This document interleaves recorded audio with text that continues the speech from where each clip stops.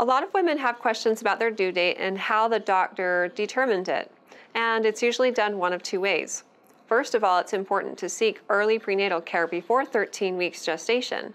And at that point, the doctor will ask you if you've had regular cycles in the past and when your last period happened. If you know what date that was and you've been regular in the past, then the doctor can pretty reliably calculate a due date off of that because a woman is fertile for six days out of each cycle five days leading up to the day of ovulation and on the day of ovulation. And we know that because you had a period, you weren't pregnant at that point in time. So you got pregnant during that next cycle when you ovulated and egg and sperm met up. If you had irregular cycles in the past or you're not sure when your last period was, then the doctor may send you for an early ultrasound.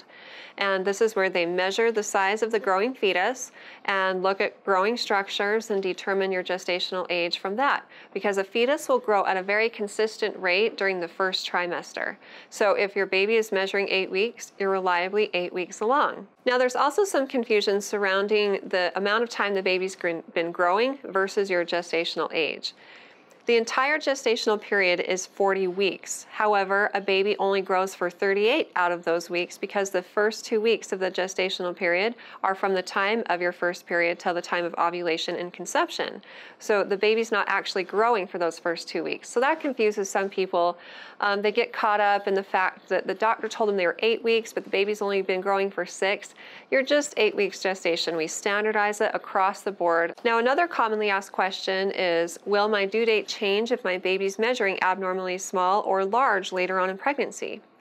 Now, I, I told you that in the first trimester, a fetus will grow at a very consistent rate, but thereafter, it can differ, and there are underlying causes that can make a baby be abnormally small or abnormally large. And those are the things that a doctor needs to consider, not changing the due date. So let's say, for example, that you have an ultrasound at eight weeks, and the doctor knows reliably how far along you are and what your due date is.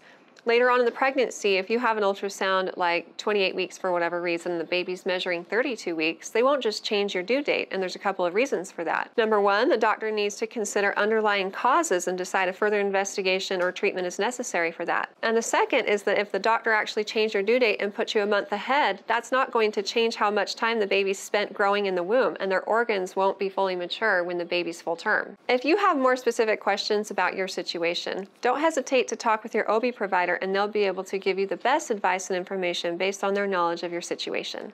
And if you have more questions for me in the future, feel free to ask them on our Facebook page at facebook.com forward slash Intermountain Moms and recommend us to your friends and family too.